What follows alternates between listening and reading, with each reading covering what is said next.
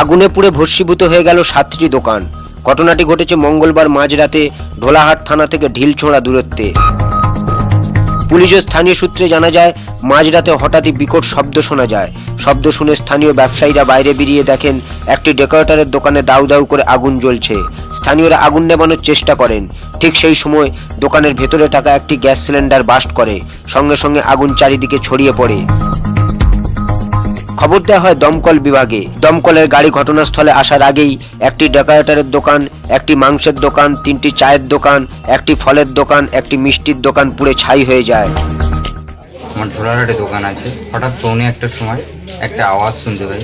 উঠে দেখি বিভৎস আগুন লাগেছে সেখানে গিয়ে দেখি যে দশ বারোটা দোকান একসঙ্গে পুড়ে ছাই হয়ে গেছে থানার অপোজিট পাশে। অথচ এখনও পৌনে দু ঘণ্টার মতো হতে যাচ্ছে, এখন একটাও দমকলের গাড়ি কোনো আসছে। তবে আগুন লাগার সঠিক কোনো কারণ জানা যায়নি। ভোলাহাট থেকে সানোয়ার হোসেনের রিপোর্ট বিশ্ব সমাচার।